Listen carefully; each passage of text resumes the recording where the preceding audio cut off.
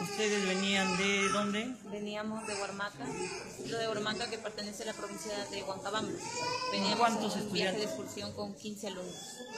Y no, ustedes no recuerdan cómo ha No, sido no la accidente. recordamos nosotros cuando pensamos, le digo, ya estábamos ya cayendo al abismo y no recordamos. Yo creo que ha sido un milagro de Dios que ha salvado, nos ha salvado a, a la Todos mayoría. han llegado hasta, hasta abajo, ¿no? No se han quedado en el... No, no, no, todos hemos, cuando cayó la, la combi se, se, se, se quedó ahí estática y fue que hemos salido.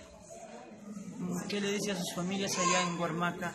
A los padres de familia, por favor, que mantengan la calma, que vamos a ver cómo van a salir los resultados de algunos de sus hijos y que no se, no se estén agobiando mucho. Yo los voy a llamar, sino que por ahora el, el celular está apagado. Por favor, eso es lo único que les digo.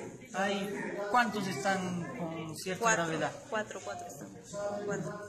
Afortunadamente los otros están con heridas leves. Sí, ¿no? solamente son esto, contusiones poli, poliquísticos, algo así me dijo él. Ojalá salga todo bien y puedan conocer al menos algo de Cajamarca.